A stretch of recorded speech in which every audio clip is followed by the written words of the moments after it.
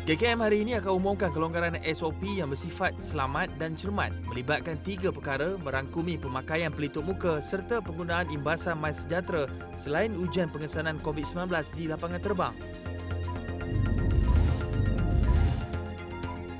Angka korban akibat jangkitan COVID-19 dalam negara setakat tengah malam tadi kembali meningkat.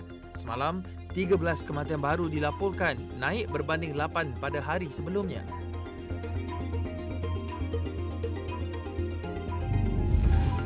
Seminggu sebelum sambutan Aidilfitri, pihak Terminal Bersepadu Selatan TBS menyediakan hampir 200,000 tiket bas untuk penumpang yang ingin pulang ke kampung halaman. Tiket itu tersedia mulai 28 April hingga 8 Mei depan. Laporan penuh di saluran 501 dan astroawani.com.